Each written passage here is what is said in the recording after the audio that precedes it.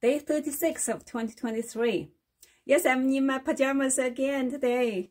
Well, I did change my pajamas into my proper clothes before my Toastmasters club meeting. And then I also worked on a design project for several hours. I also went for a jog. That's why I changed back into my pajamas.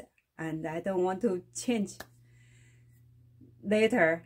And right before I started filming this, I discovered that someone stole my seven second video that I filmed of the TV that I was on as an extra, also with the text I typed. And they shared the video and my text in different groups on WeChat.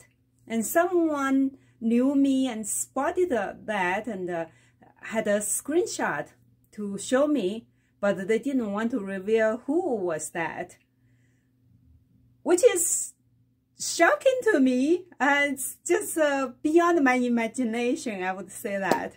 Who would steal such video with no, not much value at all? Other than for me as a like experience as a record who would do such a thing other than bringing trouble to themselves? Anyway, stealing is not the right thing to do.